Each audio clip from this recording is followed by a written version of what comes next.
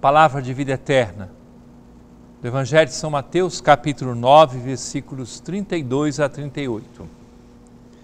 Naquele tempo apresentaram a Jesus um homem mudo que estava possuído pelo demônio. Quando o demônio foi expulso, o mudo começou a falar. As multidões ficaram admiradas e diziam: Nunca se viu coisa igual em Israel. Os fariseus, porém, diziam: é pelo chefe dos demônios que ele expulsa os demônios. Jesus percorria todas as cidades e povoados, ensinando em suas sinagogas, pregando o evangelho do reino e curando todo tipo de doença e enfermidade. Vendo Jesus as multidões, compadeceu-se delas, porque estavam cansadas e abatidas, como ovelhas que não têm pastor. Então disse a seus discípulos: A messe é grande, mas os trabalhadores são poucos. Pedi, pois, ao dono da messe que envie trabalhadores para a sua colheita. Caríssimo irmão, caríssima irmã, as multidões ficaram admiradas e diziam: Nunca se viu coisa igual em Israel. Ao mesmo tempo, Outras pessoas, aqui os fariseus, malevolamente, atribuíam ao demônio as ações de libertação feitas por Jesus.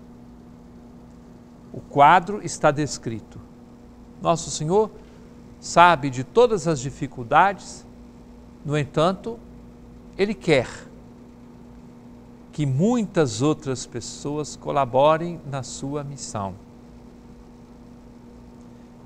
chama minha atenção o fato de que Jesus queira chamar outras pessoas e o faz durante toda a história da igreja, chamando, convocando pessoas que possam vir a trabalhar no serviço do Evangelho.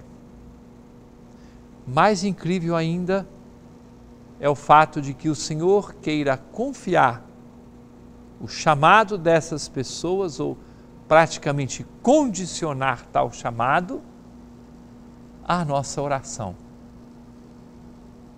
Nós podemos e devemos pedir ao Senhor da Messe que envie operários para trabalhar na sua colheita.